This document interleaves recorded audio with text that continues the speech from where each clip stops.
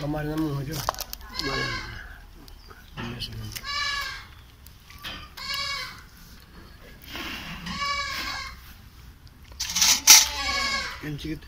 इधर।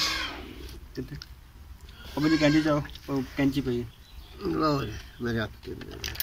हाल हाल दे थोड़े देन फाल अम्मा जी दे थोड़े हैं या नहीं हैं? अगले गाँव दा मार माता ए हुन।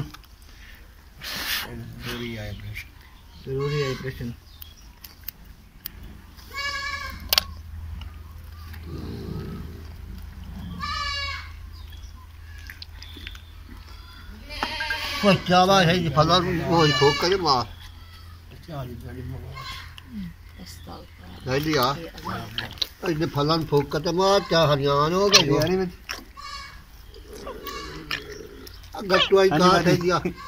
ਅਸਾਂ ਦੀ ਗੱਟੂਆਈ ਕਾ ਨਹੀਂ ਹਰਿਆਣ ਹੋ ਗਈ ਸਾਥੇ। ਉਹ ਤਾਂ ਫੇਰ ਉਦ ਬਣਾਈ ਦਿਖਾ ਉਹਨੂੰ ਲੈਂਦੇ ਛੋੜ ਤੁਸੀਂ ਕੋਈ ਨਹੀਂ ਕੋਈ ਨਹੀਂ ਤੁਸੀਂ ਇਹਨੂੰ ਛਕੋ। ਬਾਅਦ ਵਿੱਚ ਅਸੀਂ ਤਫਸੀਰ